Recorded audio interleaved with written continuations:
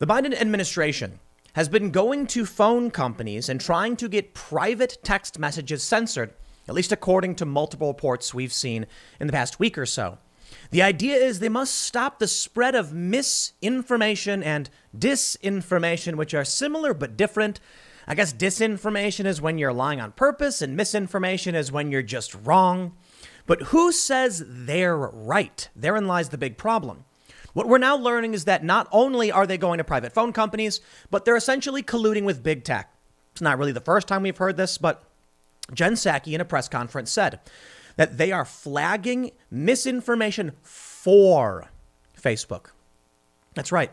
So let me just stress, as we've talked about this a little bit before, this story in particular, the government can't go to a private company and say, shut down the speech of American citizens. That would be like, say, you know, some people are arguing, but it's a private company. They can do what they want. The government can't hire private security to go and shut down a church. That would be a violation of First Amendment rights. They can't do that. That's effectively what they're doing right now with going to Facebook and going through our text messages. But now it's it shows you just how brazen they've become and how alarming things really are because when they say disinformation about COVID vaccine, what they're really saying is dissident voices and opinions that are contrary to the establishment. The problem with that? Well, I certainly have my criticisms of conspiracy theorists and crackpots and wingnuts, and I certainly have my disagreements with Bret Weinstein and Dr. Chris Martenson, noting they're both scientists and I'm not, and I can respect that. That's why we have that conversation. But that's basically it we have the conversation to go through these disagreements, go through the information, and make our points. The establishment wants to shut down anyone who criticizes them. But who says they are right? If they are but people, then certainly they could be producing the same misinformation as everybody else. This is why censorship is such an awful, horrible thing. And it's why it's uh, bringing us down a dark path. But there is some hope. You see, there's something called the Freedom Phone that's been sweeping the country, trending on Twitter, with many conservative personalities saying the Freedom Phone is the answer. And all of a sudden, there's this very strange kickback campaign. Mainstream media saying it's a cheap Chinese knockoff. It's not a real freedom phone, and they're laughing and they're saying this is so dumb and it doesn't work. And these these these uh, cartoon avatars pop up on Twitter saying I'm actually a hacker and this phone's terrible. And I'm like, um, as someone who actually is a hacker, me, uh, I have not actually seen any, seen any real arguments against what Freedom Phone is trying to do. While I can certainly criticize some of what's happening, it's really strange to me how many people have come up and said, "Don't don't buy this this product," and I'm kind of like, seems like he's providing a service.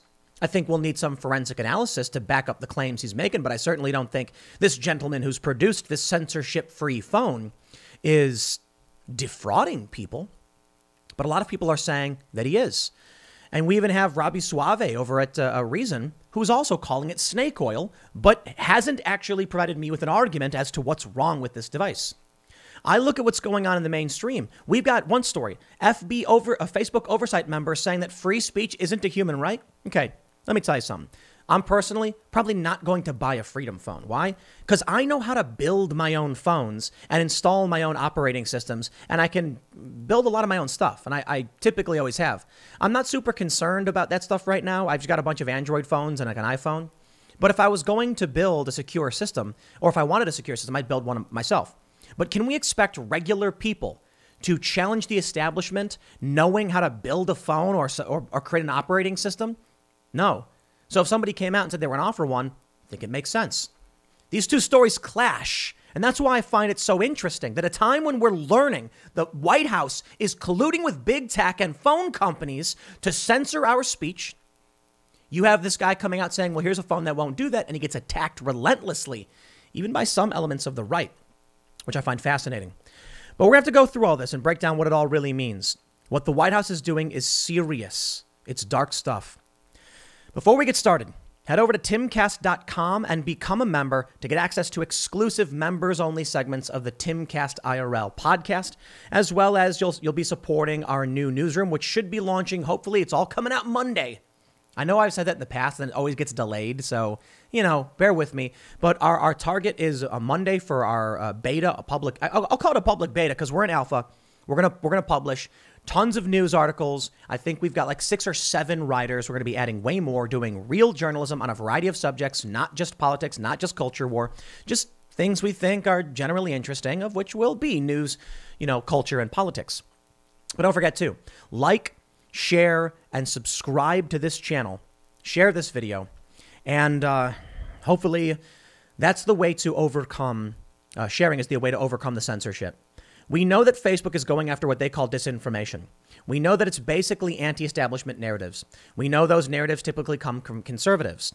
We know that there was one study which suggested that the people described as anti vaxxer are actually well informed.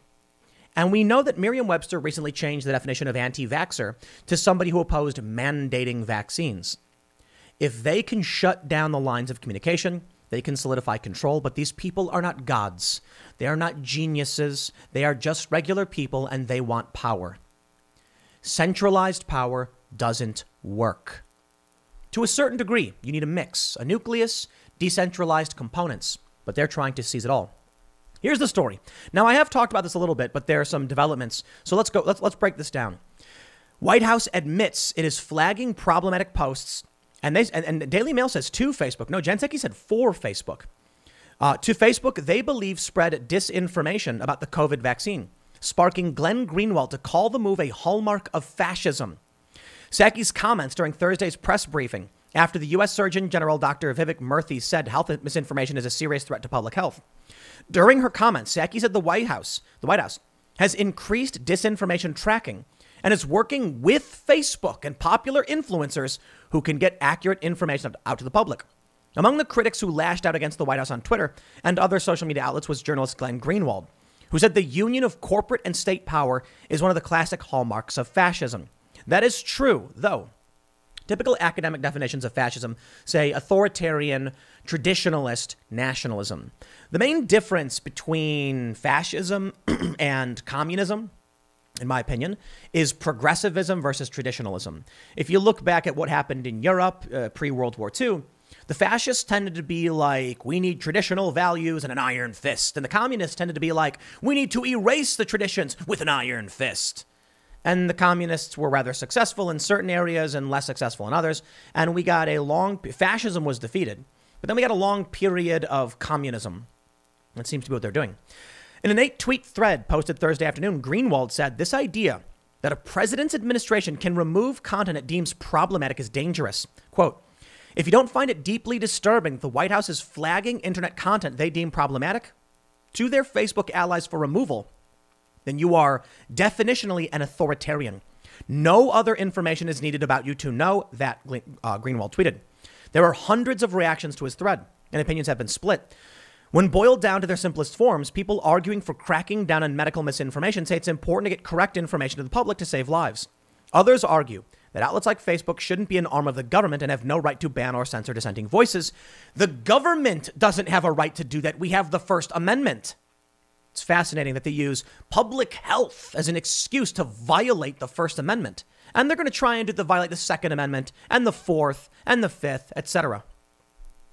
They go on to say, Dan Gainor of Media Research Center also ripped into Psaki and the White House team by tweeting, being anti-vaccine is part of free speech. Press is against freedom. Unfortunately, it's true. It is. I don't like, well, let's be careful here. They changed the definition of anti-vaxxer. I don't like people who uh, uh, reject science, reject, reject technological progress. And there's a lot of people that I talk to about vaccines, and there's all those videos of the magnets on people's arms. And I'm like, dude, there are legitimate concerns. But when you come out with this crackpot, crazy magnet brainwave chip stuff, you make it really difficult to have legitimate conversations about what's happening in the medical field. But who the is are these celebrities to come out and tell you what medication you should be taking. Always, you will hear me say it a million times. I had someone say, Tim, I swear, if you say talk to your doctor one more time, bro, I'm not going to get sued by you or anybody else because I gave someone advice on medical practices. It's the stupidest thing ever. Don't.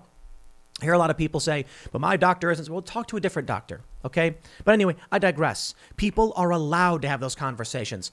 So, so Dr. Uh, uh, Bret Weinstein, Brilliant man. He's been talking about a bunch of things on his podcast, and YouTube's taken him down for it.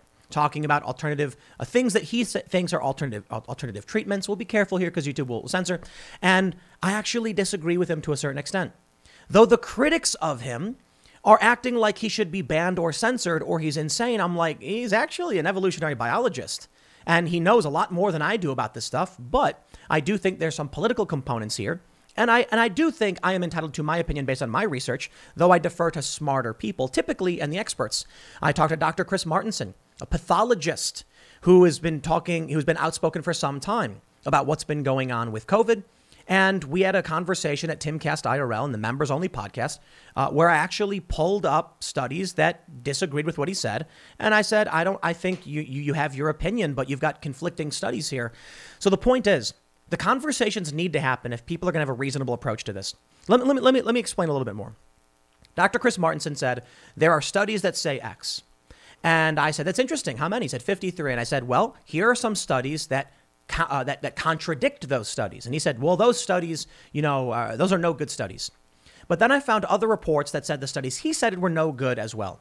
And I said, listen, if I can pull up studies that agree with you and disagree with you, I think ultimately it's hard for people to figure out what's true and what's not. And that's why I'm, I'm, I'm telling people you need to get multiple opinions from medical professionals about what you should do. But it's that conversation that needs to happen so that people take responsibility for themselves and stop acting like I should be the one to tell them what to do or anybody else, be it Dr. Fauci or Rogan or whoever should tell them what to do. If you censor the information, you are going to hurt people. You shouldn't be going to a 7 Eleven to get a medical treatment. You shouldn't be drunk at a bar, and people should not be going door to door. You should have a list of. When I, when I go to the dentist and they're like, please check off every any ailment you might have in your family. Because then they're like, okay, here's what I can't prescribe you. So it's it's it's the same problem that they're claiming they're they're shutting down. Psaki is like, we're getting rid of misinformation. You are also promoting it. So therein lies the big problem. They're going to mention. John Cooper said, Jen Psaki says the Biden administration is actively flagging what they deem disinformation about the pandemic to Facebook for censoring. Could you imagine cigarettes, for instance? If, if, if the government was like, they're totally fine and we're going to ban anybody who says otherwise.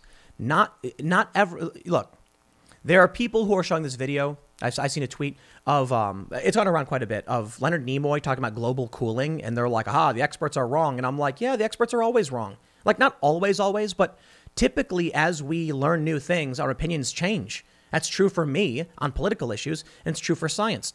We get things wrong, we try to figure them out. That's the problem of absolutism and the problem of censorship.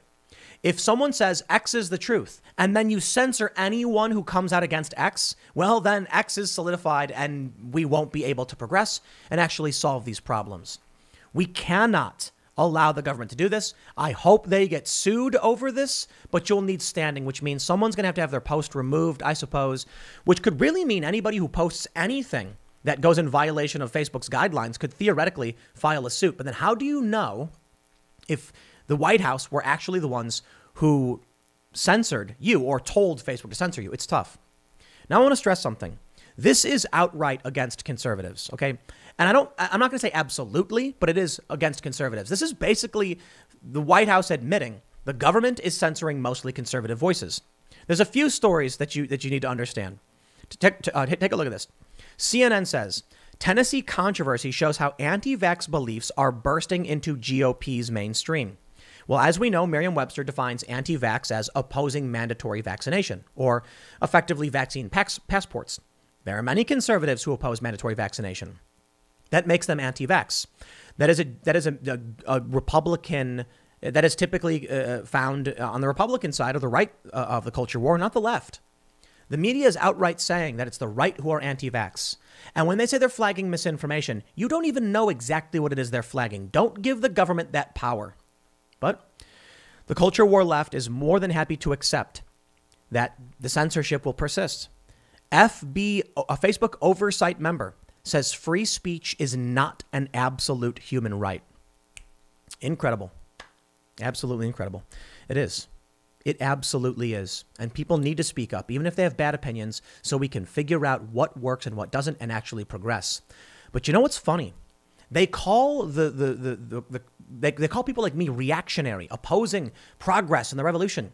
These are the people who want who want everything to stay the same. They're trying to rewind the clock on civil rights and go back to segregation. They're trying to shut down speech so that we don't progress anymore and they call themselves progressives. No, they're very conservative, and I mean that somewhat facetiously. The people in history say stop. No, they're reactionary. They want to go back to the way things were. Now, something interesting is happening. While the government is doing this, while the, criti- while, while the critics are saying that the GOP is anti vax, it all starts to tie together with another story Freedom Phone. On Twitter, Candace Owens. Candace Owens has a substantial amount of followers, 2.7 million. She is is, is no C-lister. She is the A-lister of the of the political uh, conservative movement. And there was a poll recently that found I think she she had uh, uh fifth place in terms of who should run for president. People really like Candace Owens, conservatives, I should say. She tweeted, "I just did a live on Instagram, taking everyone through the new Freedom Phone, which is now trending." So excited that I partnered with a solution against Apple and Google. Use code Candace for 10% off your new phone. And I see, I, I like Jack, Jack Posobiec, I think, has one. He's like, use, uh, use code POSO for your Freedom phone. Now, I like the idea. I've met the guy from Freedom, Freedom Phone. In fact, he was actually at my house at one point. He was here with one of our other guests, and we passively talked about this. Not a whole much more than that. It's an interesting idea.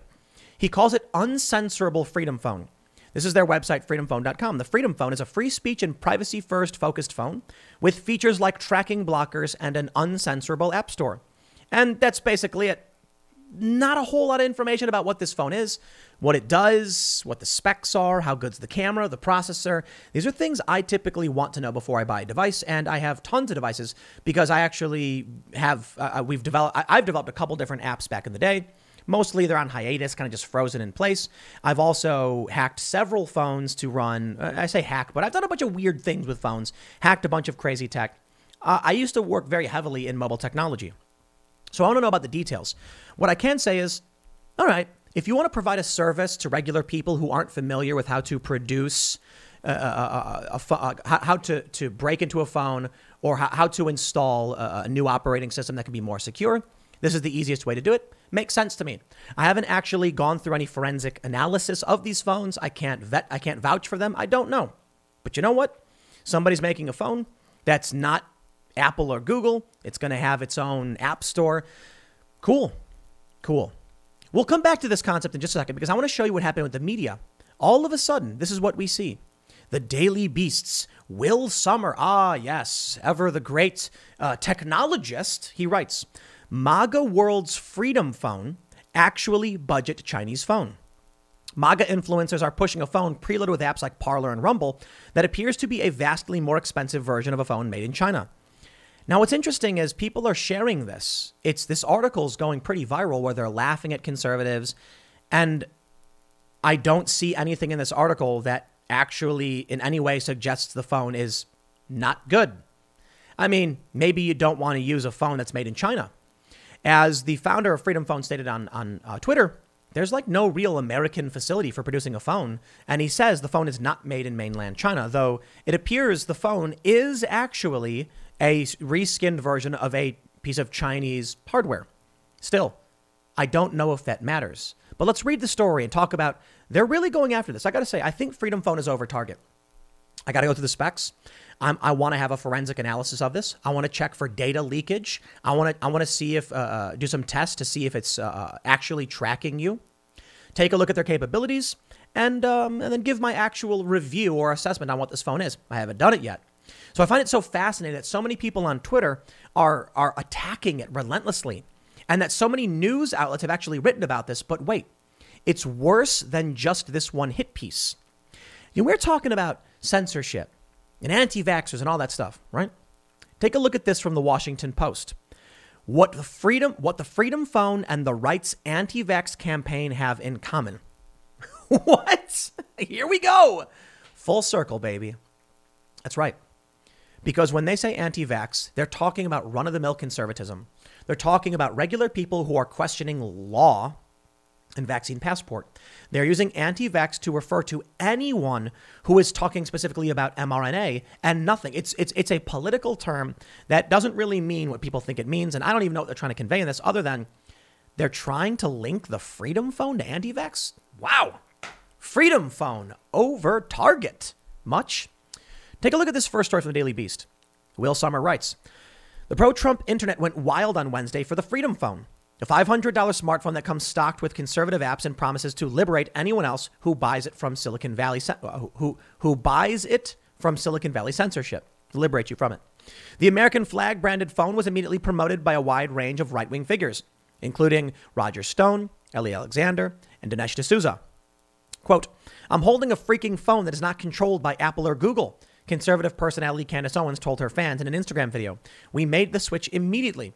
I just want to point out that there are a ton of phones that are not controlled by Apple or Google. There are a lot of Chinese ones, and there's, a, there's phones in other countries too, but I digress. Despite being lauded by some of the right wing right wing media's leading figures, though, the Freedom Phone's buyers could be getting less than they expect for its $500 price tag. That's because the Freedom Phone appears to, to be merely a more expensive rebranding of a budget Chinese phone available elsewhere for a fraction of the Freedom Phone's price. The Freedom Phone was created by Erik Finman, the self proclaimed youngest Bitcoin millionaire and one of Time magazine's most influential teens of 2014. In a video announcing the phone, Finman said he was inspired to create the phone after the tech giants cracked down on both Donald Trump and conservative social media app Parler in the wake of January 6th, uh, of the January 6th riot. Imagine if Mark Zuckerberg censored MLK or Abraham Lincoln, Finman said in the video. Now I want to pause for a second and go over some of what he said. Notice at the beginning of the article, this is how Will Sommer uh, uh, lies. It's, it's, it's a framing device. He says the phone's buyers could be getting less than they expect. What do they expect? The Freedom OS, which he's offered, the uncensorable App Store, which he's offered, and a phone, which he's offered. If people want to buy that for $500, they made that choice. I'm fine with it. Acting like the phone exists from a Chinese manufacturer. What he's doing is, hey, look, there's another version of this phone that's cheaper. Sure, but it's not the Freedom phone. It's not running the preloaded apps, which I get you can download yourself. It's not running his specific app store. I guess you could install some other app store. And it's not running his operating system. I guess you could install your own uh, your, your own operating system if you want to use like Graphene OS or something else. Or there's somebody who's offered up a service where he's preloaded all of those things so you don't have to learn how to do it yourself. I don't understand. What's the criticism? The hardware was made by a Chinese company? Yeah. Android, uh, many Android phones are made in China, and you've got uh, very few of the phones actually made in the U.S. I don't think I don't think at scale they make any in the U.S. for the most part. There's probably some small ones. He goes on to say, Freedom Phone's website is nearly totally devoid of technical information about the device. Finman declares that the declares in the promotional video that the Freedom Phone is comparable to the best smartphones on the market and truly is the best phone in the world. I mean, that's an opinion. In fact, Freedom Phone appears to be a simple rebranding of a budget phone called the UmiDigi A9 Pro, made by the Chinese tech company UmiDigi. In an interview with the Daily Beast, Finman confirmed the Freedom Phone was manufactured by UmiDigi, but didn't say immediately which UmiDigi phone it was based on. Well, it could be that it is an UmiDigi phone, but it's not the A9 Pro. It's just a similar model with different specs. The Freedom Phone's $500 price tag would represent a substantial markup on the UmiDigi A9 Pro. That phone is available on Chinese retail giant AliExpress for $120, less than one quarter of the price of a Freedom Phone. And this is why this article is a smear. If you bought the UmiDigi Chinese, uh, you know, uh, A9 Pro for 120 bucks, you're not getting access to the things that he's offering, Freedom OS and the store. I'm not saying those things are actually worth, worth what he's charging it for, but he's selling something different. Based on what, what Erik Finman has said, it seems like they've built their own operating system. I don't see the issue. Other than the Daily Beast and many left wing media outlets are trying to make it seem like the phone is a bad idea or a waste of money. And you've even got people like, you know, I was tweeting with Robby Soave of, of Reason.com, libertarian, and he said it was snake oil. And I said, that's not a response to what I said. Basically, there's a thread where he called it a grift and said the grifters are selling the grift phone. And then I said, oh, geez, you know, an article from famed techno- lauded technologist and an expert on the far, far, far, far right, Will Sommer, yeah, I immediately question the Freedom Phone when he writes about it. Robby's response was that he's criticized Sommer in the past, but you can't disregard relevant information for political reasons. And I said, what information? I said, the real issue is whether or not data leaks from the phone and whether or not it's tracking you. If they offer you a product that they've customized and built things into, it doesn't matter if the base model costs something else. That's ridiculous. It's like someone selling you a rock, but then so, it, I'll put it this way Someone is selling a piece of canvas with a picture on it. But did you know that the canvas only cost $5? Well, maybe I don't want a blank canvas. Maybe I want the fancy picture of the sailboat by the lighthouse. Someone had to paint the boat and the lighthouse. It's a different product. So it's fascinating then when the response I got was, Tim, it's snake oil. And I said, that's not a response to what I just said. See, this is the problem. There's so many people who just want to play that contradictory game. I don't know if the phone's fantastic. I haven't done a forensic analysis of, of it. We haven't put any, any apps on it to see where data is being leaked to. We don't know for sure. Supposedly, you can get the phone, you can put your SIM card in it, it works. But boy, are they mad about it. So when I can see the Biden administration saying we're going to censor information, and then I can see some guy saying here's a phone that, that doesn't do that, I say, okay. And then when I see the, the hysteria over this phone, but it's clever. They're not coming out and pointing out actual technical defects. They're mocking it as dumb.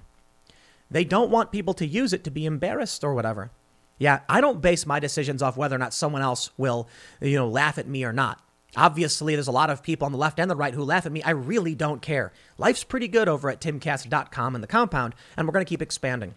So, a lot of people, you can say a lot of things about a lot of things, and I'm going to keep doing my thing. And I'll tell you this the hate on Freedom Phone seemingly makes no sense for a device that hasn't even been tested or legitimately reviewed yet because it's not out. I'd love to get it, have one of my, my tech experts run through it and give me an actual technical uh, assessment of the device. Personally, I wouldn't use it. You know why? Not because I think it's a bad device, because like I said in the earlier in earlier in the segment, I can take a phone and personally I can rip that thing to shreds software wise and put whatever I want on it. I've done some really cool stuff. I, I, I there, there's one I, I, made a phone that looked like a Pip Boy from Fallout. So when like you load it up, it's really cool. I, I, I love that stuff. And then I was showing my look, it's like a Pip Boy. Look what I did. I put this. I, I put an operating system and these apps on it, and uh, we've done a bunch of cool stuff with live streaming technology and manipulating these phones. So for me personally, if I want to be secure, I'm going to do it myself. But here's the issue. He goes on, and, and I think the analogy about a painting probably makes the most sense. The base model is $120 and he's selling it for 500. And yeah, if someone took a rock and then chiseled it to make the shape of a little Easter Island head, that'd be worth more money too. Someone did work, applied it to a product. What's with the weird hit piece? Now, some people have pointed out that the chipset is easy, easily hackable if you have physical access. And I'm like, okay, all phones are hackable if you have physical access. They're called O day exploits or zero day exploits. I'm sure many people in the government have the ability to hack into a lot of phones. There's been reporting that the FBI was able to break into iPhones, apparently. I could be wrong, but I'm pretty sure they were able to break in. And Android devices t- tend to be a little bit easier because there's so many different versions of Android devices. But in the end, yeah, if your phone gets stolen, you're in trouble. If you have the phone on you and it's not censoring you, it's not tracking you, then you've got what you've paid for. Now take a look at this. This right here should show you, man, this op ed. Freedom Phone's over Target. They're trying to lump it in with anti vax when literally it's just a guy being like, you should be able to have free speech, like the Constitution says. And they're like, no, no, no, it's bad. It's a Chinese phone. It's snake oil, Tim. That doesn't mean anything. Does the phone work? Okay, whatever. Now, look, I certainly think if you have the opportunity, don't make stuff out of China. it's not so easy all the time. But um, you know, in the United States, I've been looking into manufacturing to a certain extent, and it's really difficult. We might do our own prototyping and stuff with 3D printer, and then actually make some base components for some stuff we want to build. But it's not easy. It's not. At the very least, if this guy can get out a phone that will give people the ability to, com- to communicate uncensored, that's a network that I think is worth building. I'm always worried about this stuff though, because there have been instances where you get honeypots. A honeypot is basically a trap, right? Someone will say, hey, check out this phone. It's great. It won't censor. And you, you get it, and it's tracking everything you're doing. I'll explain it. Uh, uh, I'll break it down. During my days covering all of these protests, which I, I don't do anymore because it's too dangerous, but when I was on the ground, people keep telling me that the government is, is, is, is shutting down the internet, censoring their phones. You'd be at a protest, and then all of a sudden your internet's not working, and they'd be like, the government's jamming our cell phones. And I'm like, no, they aren't. Typically, the government brings in backup cell towers. Trucks will come in with antennas. They want to help you communicate. What's really happening is that you're jamming the service. There's too much trying to get through at any one time, so the data is all cluttered up and the tower breaks down. You know, you can't get information out of it. The government wants you communicating because they want to be able to spy on you. So censorship is actually bad for intelligence agencies. So the one thing about the Freedom Phone that I would be concerned about is is it possible that these phones can get intercepted in delivery loaded with an O-Day exploit that allows all of your information to be easily spotted and tracked. Maybe. Ultimately, I don't think it matters because I think the NSA has their tendrils into all the phone companies as it is. So it can help bypass apps that use encrypted communications and, and encryption. But I, I, I'm, I'm really not super concerned about that. Overall, I think if you're offering up a service to provide people free speech, it's a good thing. No wonder now they're trying to link it together. Now, you may remember when I said that uh, Candace Owens is not a C list celebrity because this guy for, for Washington Post says C list conservative celebrities like Candace Owens. I mean, dude, she's like an A lister, bro. She's a conservative celebrity and she's the top of the top. They say they have endorsed the handset of liberty. Well, he's trying to claim that this has something to do with vaccines. That's where it gets really weird. The vaccines are a perfect example, blah, blah, blah. I, am I'm, I'm not super interested in, in, in giving airtime to the absurdity of his argument. But it's part of this, this, this, this wave where they're trying to say someone creating a platform with an app store that bestows the values of free speech and classical liberalism as a bad thing. I find that fishy. Maybe you won't use it because it's not convenient, but Apple and Google certainly want control of things. Let me just add one final thing. You can get any Android, and that you jailbreak them, you root them, you put in a different operating system, you purge them, you, you DoD sweep, whatever you want to call it, just wiping all the data off of it. You can then install separate app stores. There are free and open app stores that are not Freedom OS or the Uncensored App Store. However, it does require hiring someone or knowing how to do it. Most people don't. Freedom Phone can be very, very dangerous for the establishment. So it's no wonder that they're colluding with big tech and then freaking out that a new technology service is becoming available that will stop the censorship. Funny how that works. I'll leave it there. Next segment's coming up tonight at 8 p.m. over at youtube.com slash timcastirl. Thanks for hanging out, and I will see you all then.